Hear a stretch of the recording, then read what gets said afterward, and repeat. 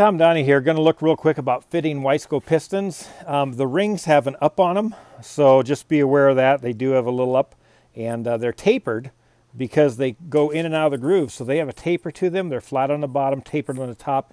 You really can't get them in wrong, but uh, there is an up and down on the rings. Then uh, a reminder that the wrist pins are fitted to the pistons. Now I normally don't sell pistons out of sequence. So if you've got a set of three, they're all going to be the same. But if you're changing out a piston sometime, wrist pin and piston are a set. Don't intermix them, all right? There's a real slight difference, about six, ten thousandths difference between a few of them.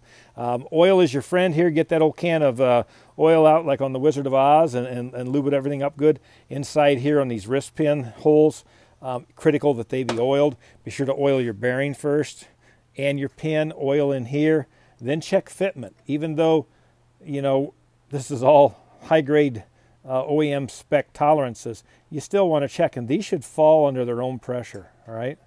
You should not have to force them in and out. Okay, there's just gravity will feed through there. It's not like the old ones where you got to, like the old Saab styles, you know, where you had to had to have nine different sizes of the old split bearing. We've got one size, but the pin is fitted to the pin. So you be sure you keep an eye on that. And then uh, again, oil, oil, oil. I've seen uh, some Venolia pistons made out of the 2618 where it knocked the wrist pin boss out within 200 miles. I will guarantee you those were assembled dry. Um, you cannot assemble this stuff dry. You have to put lube on it. Be sure to check your rings in the block also for uh, a gap. Uh, depending upon what you've got, you're probably going to have 16 to maybe 20 thousandths on a on a three and a half to four thousandths clearance. If you get up in that five, six range, you're probably going to have 24, 25 thousandths clearance. Um, the main thing is you have clearance. I don't think it's a problem having a little bit more. Definitely a problem if you don't have enough ring clearance. So be sure to fit your rings into the top of the block and check your ring gap. Then to oil up your, your um, bottom end here, this is what I use. I use a toilet scrubber, toilet bowl scrubber. Good, you can have one to clean it with too. But uh, lube everything up really good. And when these things go together uh, with, the, with these keystone cut rings, um, you'll think you broke one. And sometimes people will take them back apart just to check. Uh, they just drop in that easy. And then here's the new Donney rods that have the modern snowmobile jet ski bearing in them. And I tell you what, we've had great success with these so far. Um, they're just dynamite. There's the old style cages, and you know the old style cages were problematic at best, and then some of the remade ones have uh, grooves cut in the corners, which is actually counterproductive.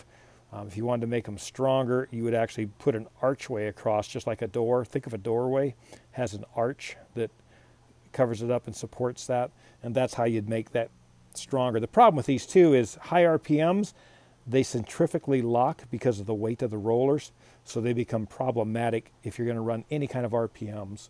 And we're still seeing people with a lot of failures with these, uh, especially if you're racing and hard on them. So uh, this will solve all your woes. Uh, of course, the Wiseco 4032 alloy is a great alloy for these pistons. But uh, just do your due diligence. Uh, when you've got the engine assembled, be sure to run a compression test. That's critical. Uh, we've got a lot of engines out there running around that have poor compressions that people have built, and there's just really no reason for that. You should bench check it before you ever put it into the car. I, I have a spec sheet on all my motors, and we bench test them before we ever send them. In fact, there's one right there in the plastic crate that's uh, all been rebuilt and is ready to ship to the customer with compression already tested.